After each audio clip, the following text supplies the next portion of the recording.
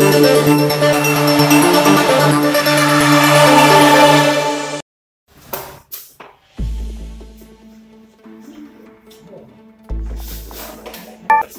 persiapan BPDB sudah kami lakukan dari awal ya. Dari uh, SDM-nya Kementerian SDM karena perjalanan ya.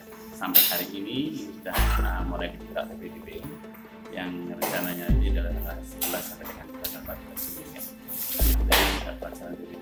Jawa Tengah bisa berjalan lancar dan SDM infrastruktur sudah masing-masing. Kabupaten kota sudah ada operator, administrator dan helpdesk ya.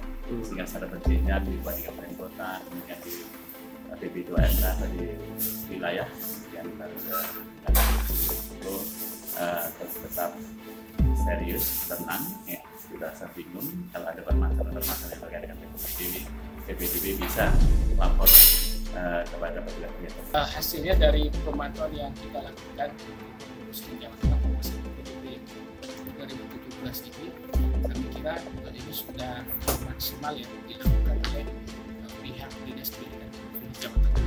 Jadi persiapan persiapan juga sudah sudah oke. Okay. Kami juga melihat dari uh, internet tadi juga sudah berjalan dengan baik, aksesnya juga cepat. Uh, kami kira bahwa persiapan ini tentunya harus ada dukungan dari masyarakat dari semua pihak khususkan PDB online untuk SMA, SMK, negeri di Jawa Tengah. Demikian juga dengan SMP dan juga sekolah-sekolah yang lain yang tidak online kita harapkan bisa bisa sukses. Hasilnya setelah nyobain uh, pendaftaran online ini gimana? Daftarnya sih cepat mas, cuman ya, ya itu nanti di save dulu nggak bisa harusnya misalnya kita ngeprintnya di eh cari internetnya di sini. Harus cari printing lagi bisa ngeprint. Artinya websitenya nggak menyediakan uh, save save data save file gitu ya? Iya Iya, iya, ada iya. terus solusinya? Ya mungkin nanti ada ada perbaikan dari aplikasi yang itu bisa to minimize terus Slip. ke warna penyelenggaraan UPDP kan terbagi menjadi dua seiring dengan undang-undang Pemda yaitu PPDP yang ada di uh, sekolah dasar dan sekolah sewama pertama itu berada di kota kabupaten dan kota dan sekolah menengah atas dan sekolah menengah kejuruan yang berada di uh, provinsi. Um, saat ini dengan pembagian kewenangan itu tentunya uh, provinsi menjadi yang pertama dalam uh, pengelolaan UPDP di Jawa Tengah ya untuk mengelola SMA dan SMK.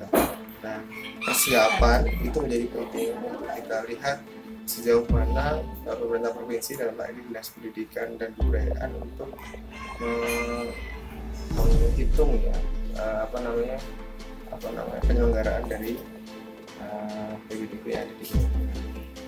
Kemudian temuan kami saat ini ada beberapa hal yang menjadi catatan baik itu dalam proses persiapan maupun dalam regulasi.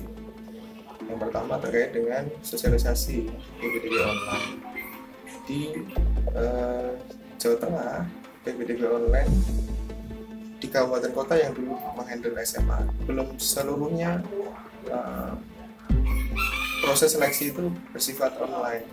Mungkin ada yang masih offline mendaftar saya langsung ke sekolah. Nah dengan proses online yang ada di pemerintah provinsi ini kami melihat sosialisasi itu belum terlalu masif.